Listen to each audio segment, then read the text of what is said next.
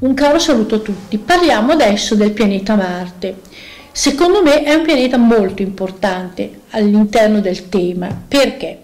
È il contatto aggressivo con il mondo esterno. Quindi come io mi avvicino al mondo esterno, come io reagisco, come io desidero qualcosa.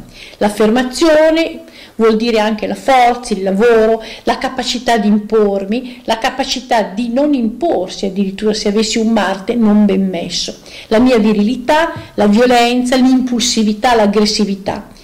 Marte vuole dire anche la muscolatura, lo sport, come io vivo le automobili, gli incidenti. Un Marte leso vuol dire mh, tutto opposto, quadrato, sono molto favorevole ai piccoli incidenti.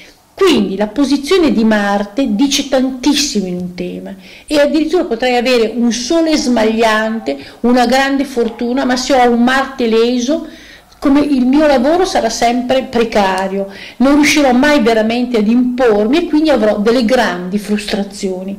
Viceversa, un bellissimo Marte, ad esempio un Marte in toro, che vuol dire che resisto al di là di tutto, potrebbe dare dei successi anche se ho viceversa un sole leso oppure se non ho una grande fortuna.